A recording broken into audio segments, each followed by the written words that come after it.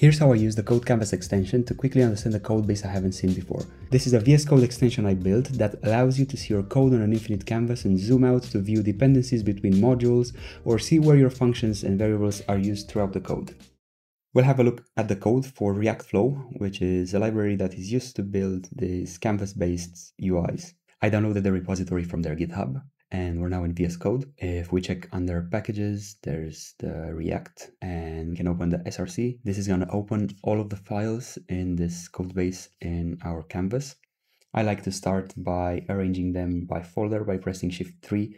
F enables the folders so we can see the folder outlines and the names.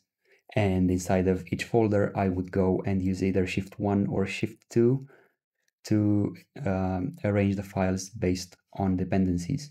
While doing this, I'm making sure that files that are imported in other files would go in front of them so that the edges don't overlap. As I'm doing this, I noticed that a lot of files from this folder import some of the files from here in the containers. So this means that this folder would need to go in front of them.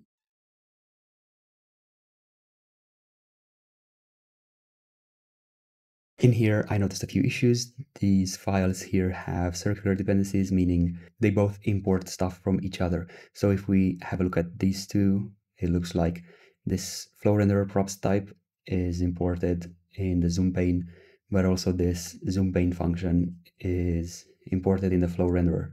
This is a very easy to spot issues like this so you can refactor and move this type outside so that it's imported in both of the files that need it. But for now we're gonna just try to um, arrange these in a way that still makes sense even with the circular dependencies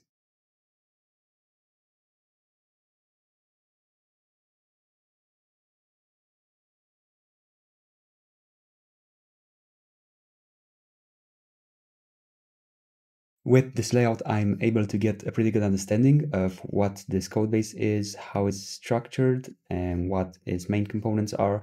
It looks like here we've got containers and components. There's some additional components here which seem to only be imported in this index file and then exported from the main entry point into the application. So these look like components that are just directly made available to the user. These are components that are used throughout the library and inside of the containers. It looks like we have a small styles folder here and the hooks, which they're actions that are being used throughout the components. And it seems like some of them are also exported from the main index file, which means they're also being made available to the user we have some uh, global state here and some utils and finally the types. Once I get a good overview of everything, I can dive in deeper into specific parts and try to understand what's going on in there. This is also very useful when refactoring because you can very easily see uh, what parts of the code base would be affected if you were to change a file. If you want to use the extension, it's available on the VS Code Marketplace at the moment, it supports JavaScript, TypeScript, and React, but I plan to add support for other frameworks and languages as well. If you have any feedback, suggestions for improvements, or bug reports, you can submit them here or join the Discord server. If you want to keep up with the development, you can subscribe here on YouTube or follow me on Twitter as I plan to post there more often as well. Thank you, and I'll see you in the next one.